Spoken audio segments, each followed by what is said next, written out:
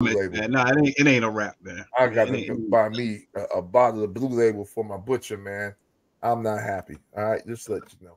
Not. Let's let's let's move on to the other game. E, you had um had something else? Yeah, let me just say real quick, man. I'm, I'm, I'm proud of I'm proud of this team, man. Um, because it seems like they are finally getting healthy. Number one, and number two, they are taking on the identity of their coach. Hmm. Um, this is the most I have seen James Conner run. I mean, he didn't run great um yesterday. Let me bring up his stats. He had 20 carries for 53 yards. He had one touchdown, but he set the tone even with those 20 carries.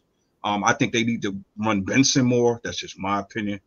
But Yeah. Kyler Murray um put on a passing clinic under duress, put the ball only where his mans can get it.